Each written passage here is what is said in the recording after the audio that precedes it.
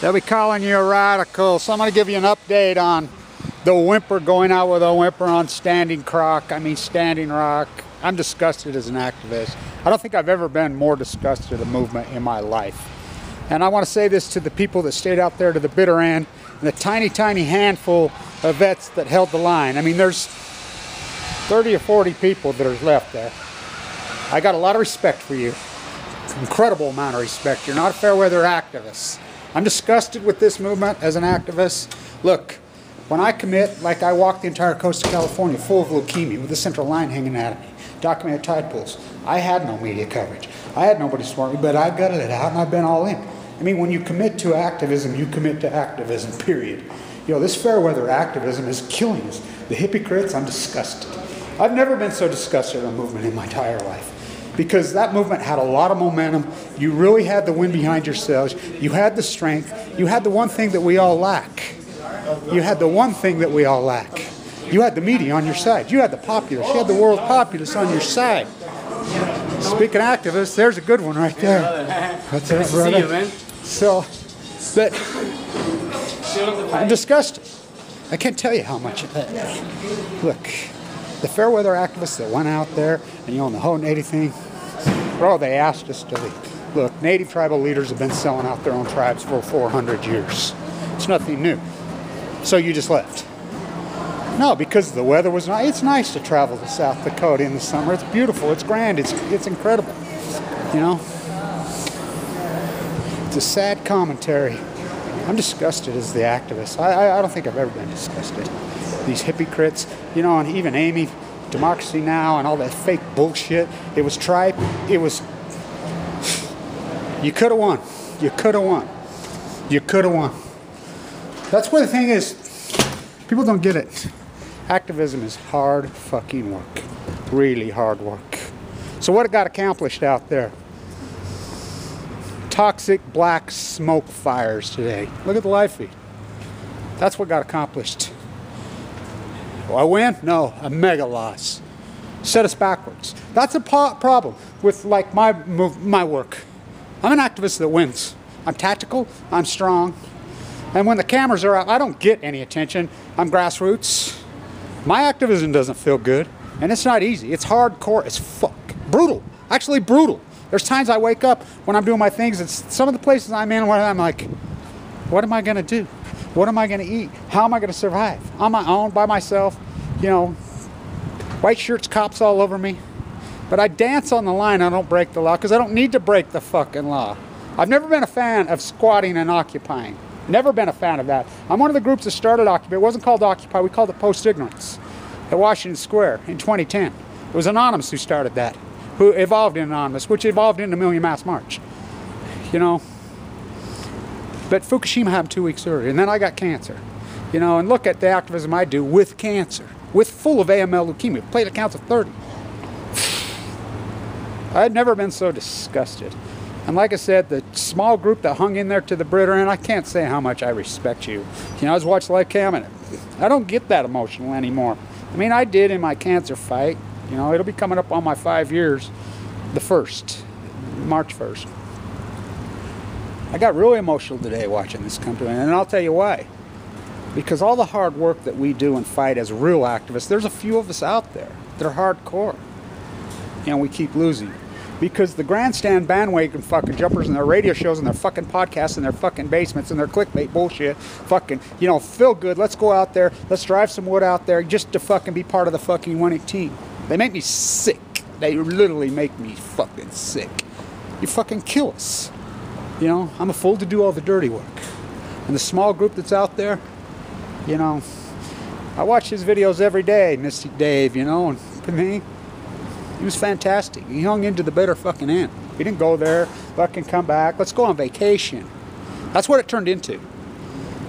You know, and I would like to say this all the fair weather fucks that went out there. Did interviews, all interview, fucking mainstream fucking media, which is alternative media, which is, I, I mean, alternative media is worse than mainstream media. Go fuck yourselves, every one of you. You should be fucking disgusted. What you've done to people like me. You know, there's a small group of us out there You know, and I know who they are because I'm in these hearings. I'm in this fucking fight all the fucking way. I was a millionaire when I got sick, you know? Even then, I mean, I, everybody knows my path as the activist. I mean, it's brutal. You set us back so fucking far. What you did to us, you know, you fucking fake fucks can go fuck yourselves, every one of them. You know, the only ones, the people that I have respect for and that of that fucking 10,000 of you fuckers scampered like little fucking two-bit bitches. Because that's what you are. The small group that hung in there to the brutal end out there, fuck, I can't tell you how much, I, I mean, you guys are the shit. You know, there's one vet out there right now. I want to get his time. He's going to go down. You know, they're offering him the little fucking deal to go get civil disobedience right now as we speak at this exact moment. Or the rest, you know, we're coming in. And, you know, they're going to charge them with felonies and destroy their fucking lives. And, let, you know, and if you think you get media attention, the media will turn their back on you. Look, you're going to get arrested. They will turn your back on you, just like they did, you know, on Megan Rice, 85 year old fucking nun. They threw in prison broke into Y-12. You don't think that took guts? Put on a holding facility, built the hold for fucking three weeks for three and a half years, turned down the temperature 56 degrees. And the media ran and scampered like two bit bitches. I'm the only media that reported it. You know, and the media that went out there, the RT, you know, the fucking Amy you can kiss my fucking ass, every one of you feel good fucks. It was all clickbait. That's all you were doing. Fuck you. You know, like I said, and, you know, Fukushima back in vogue in the fucking lamestream media and the fucking alternative scumbaggery. They've been coming to me again. You should hear the way I talk to them. Well, I get a lot of them that want to do interview. I'm like, go fuck yourself. Why would I do a media with you betraying fucking rats and now? I'm the fucking media. To be popularized and clickbait and have a huge fucking viewership to be a failure. You know, I Every time I get involved and start getting all these fucking panty painter softball, I make sure I do a video that really pulls back. A guy in California told me, Patrick says, God, I can't believe the way you'll get tremendous momentum and then you just go right at them. Because all they do to me, the contemporary fucking feel good fucking so god part time keyboard fucking you know, armchair activists, you know, whatever. All they do is waste my fucking time. I don't have time to police my states. I don't have time to educate. I don't have time for their fucking ridiculous comments. I don't have time. Because they're not going to do anything anyway. They're not going to do anything anyway. You know, to the few that are out there right now, going down to the Briter end, you know, that live casted out there that said videos every day, I love you guys. But you're talking fucking, you know, maybe 50 people. And to the hierarchy of the native tribes that sold you fuck you, you fucking rats. The other side holds a very nice fucking place for you, right there with Obama and Bush and Bill Walmart Clinton.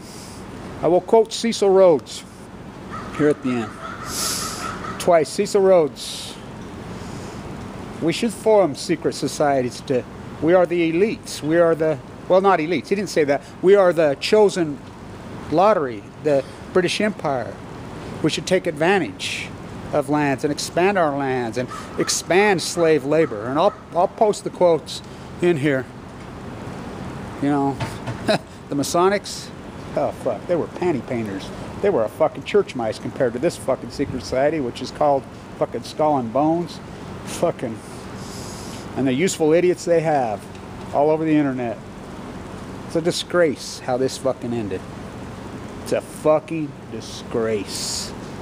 So, the activists, so-called, they're not the activists, you know. But I always fall back on this. I know that it's always tactical. It's really one person or a small teeny group that ever make a difference. You know, you don't even. I mean, what I'm up against right fucking now. I mean, whoa, whoa, taking on the nuclear crime syndicate. Oh fucking a, I am. You haven't seen the last of me.